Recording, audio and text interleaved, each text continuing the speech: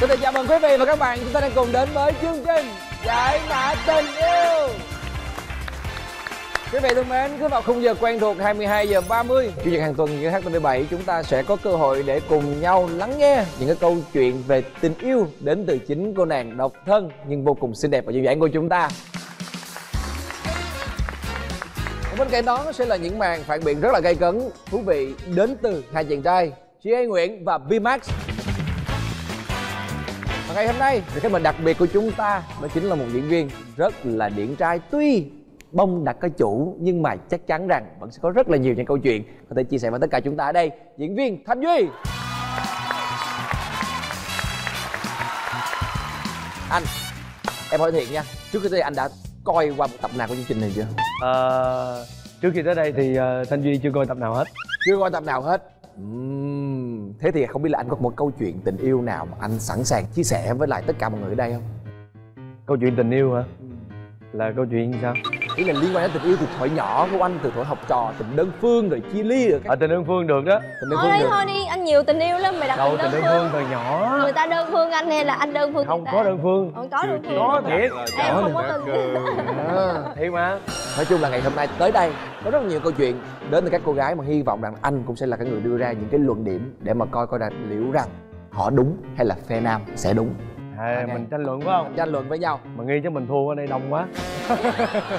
Nữ mình nhường chút xíu đi anh. Rồi. ok anh cảm ơn anh rất nhiều. Câu bây giờ không kể hả? Để dành hả? À, dạ, để dành để dành để để dành, dành nha. Hẹn gặp lại. Quý vị mến và ngày hôm nay sẽ là một cái chủ đề mà tôi không biết rằng có trúng một cái chàng trai nào đó ở đây hay không. Liệu rằng ba chàng trai ở đây có phải là bad boy hay không?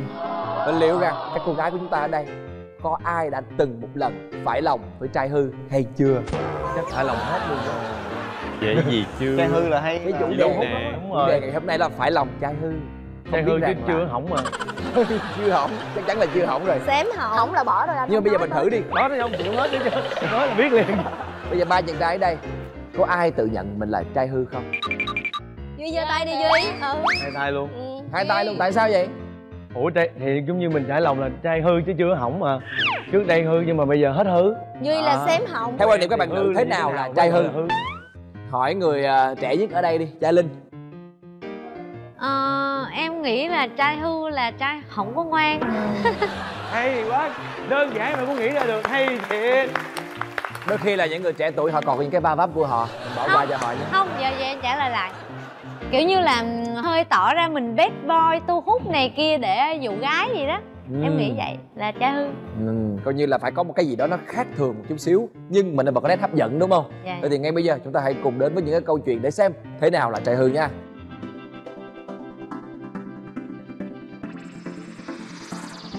Câu chuyện đầu tiên Hẹn hò cô này xong Vài ngày sau lại hẹn cô khác. Câu chuyện này là của ai? À, xin chào mọi người, đây là câu chuyện của Misa nhưng mà đây có lẽ là số hiếm hoi mà Misa không kể câu chuyện của mình. À, mà đây là câu Misa chẳng hạn. Misa thì không xem đó là trai hư nhưng mà đối với một con người một người con gái khá là truyền thống và họ coi cái chuyện đó là một chuyện quan trọng là một cái à, bước đệm để hai người có thể đến với nhau.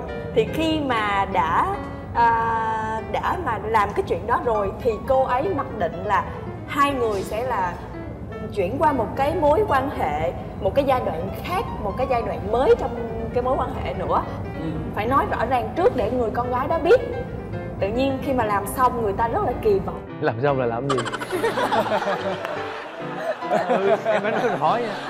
Anh đừng có giả bộ ngơ ngác nữa duy. Anh đừng có giả bộ ngơ ngác nữa. Em em nhiều em chóng mặt anh quá. muốn cái gì nó rõ ràng. Rồi bây giờ mình rõ ràng mình dễ phân tích hơn về câu chuyện. Nhưng mà các bạn nam thấy sao? Thấy câu chuyện đó là bạn trai có hư không? không Gì ấy? em phản đối. Em thấy hư. Á cá Bây giờ ai, bao nhiêu nữ thấy cái đó là hư? Một, hai, hơn một nửa là hư. Em thấy Không, ừ. ờ, Em thấy nửa nửa dữ. nửa không hư Em phải chọn cái kiểu Việt Nam nha. Đừng có theo phong cách Đài Loan nha.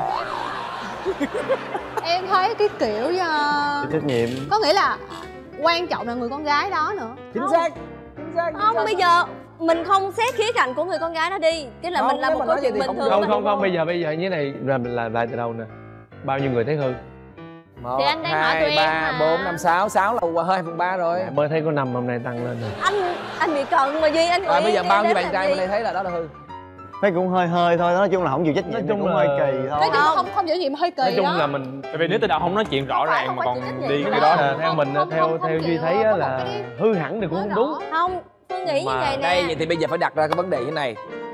Thật sự là bạn ấy có hư hay không nó có tùy thuộc vào người con gái hay không? Không. Đúng rồi. Cá nhân phương đi không Phương là câu hỏi đi. mình đặt người ra. Lớn hết rồi mà. Bây giờ bên đó có cho bên đây nói không? Rồi, nói đi. Rồi, một một hai bạn nói đi. Vô nè binh nè. Khía cạnh của phương đi đánh giá một người bên ngoài đi thì phương vẫn nói là đó là anh chàng hư. Nhưng mà Ừ. không nói về khía cạnh là chịu trách nhiệm nha. Ừ. tại vì nếu mà gọi là tại sao mà chúng ta không ngồi nói chuyện với nhau và một đêm đi nhậu đi chơi với nhau để hiểu về người con gái đó thì chắc chắn là không thể nào hiểu được rồi. Nhưng mà rõ ràng ở đây khác về khía cạnh bình thường là anh chàng đó có buông thả. Đang buồn có buông thả đúng không? Mà cô này cũng buông thả mà có cảm giác mà. đây là chị đang chị nói bên ngoài chị đâu có nói là về khía cạnh cô đó là tại sao không chịu trách nhiệm đâu. Tức là nói anh ấy cũng đang có cảm giác buông thả muốn được ừ, giống như là một cái kiểu là muốn hư hỏng một xíu một đêm kiểu như Ừ. mình đang buồn. Thì rõ ràng anh ấy có hư ừ. thì rõ ràng là cô gái kia cũng hư thì em em chưa nói đến cô gái mà chứ. Em muốn là giải tỏa cái tâm lý của mình đang buồn. Đây tại vì cả Đã, đã, đã, đã, chị đã. à, hai bạn muốn ra đây đứng đối chất với nhau không? Nhưng mà người ta lớn thôi đúng không? Nếu mà không thực sự cái đó là gọi là một cái sự tình nguyện. Đúng rồi cả hai bờ cả cũng hai tự đều nguyện tình nguyện và cả hai đều thừa biết được chuyện gì đã xảy ra. Ừ. không Khi nhưng mà mình trở lại với lại người con gái đi tại là không phải là ai cũng có thể có những cái suy nghĩ giống như Misa được tại vì rất là khó tại vì có những có những người con gái á tức là có thể là cái giai đoạn tìm hiểu nó ngắn hoặc là cái cảm xúc thôi nhưng mà có những có những cái kiểu là, là tự nhiên trải qua cái cảm giác tình một đêm rồi hay là đã ở bên nhau rồi tự nhiên thông thường đa số những người đều bị một cái cảm giác ờ như vậy là mình đã thuộc về người đó không? Không không? mình đã thuộc tự nhiên là có một cái cảm giác là như vậy là không cần phải nói nó đã là có một cái gì đó nó ràng buộc với nhau rồi. rồi ừ. Nó là như vậy cho nên là về cái cạnh phương nếu đánh giá người đàn ông phương không nói là trong cái câu chuyện đó phương vẫn nói là anh ấy có hư. Ừ. rõ ràng anh ấy đang tự thả lỏng anh ấy một đêm đúng không? Và anh ấy đã lựa chọn sai đối tượng. Ừ.